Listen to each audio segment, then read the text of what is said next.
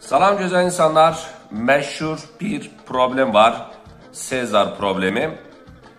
Ee, YouTube-a və Google-a girib Sezar problemi yazsanız, e, belə bir problemlə qarşılaşmayacaqsınız. Sezar salatı gələcəkdir. Sezar bu problemdən sonra Sezar salatını düzəltdi ki, bu problemi Sezar salatını yeyə daha mükəmməl şəkildə həll edə bilək.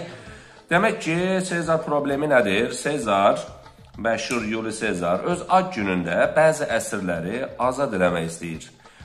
Onları birdən başlayaraq 100-ə qədər hər otaqda bir nəfər olmaqla əsirləri yerləşdirir və bütün qapıları bağlayır.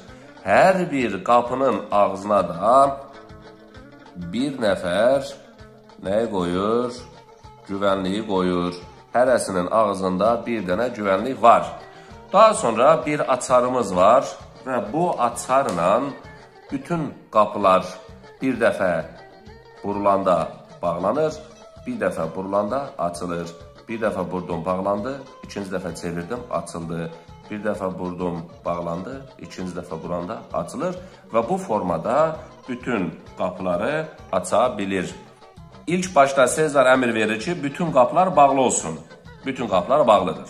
İndi məsələ nədir? Burada zurnanın nə dediyi yer gəlir? Bax, o məsələ. İndi birinci güvənlik götürür, birdən başlayır, bütün qapıları bir dəfə bu açarla çevirir və 100-ə qədər gəlir. Demək ki, burası asandır, bütün qapılar açılmış olur. Daha sonra ikinci qapıda duran mühafizəçi götürür, 2, 4, 6, 8, 10, 12, 14 və s. bu formada olan qapıları, yəni cüt rəqəmli, cüt ədəd olan qapıları bir dəfə açarla çevirir. Bağlılar açılır, axçıqlar da bağlanır. Bu şəkildə davam edirik.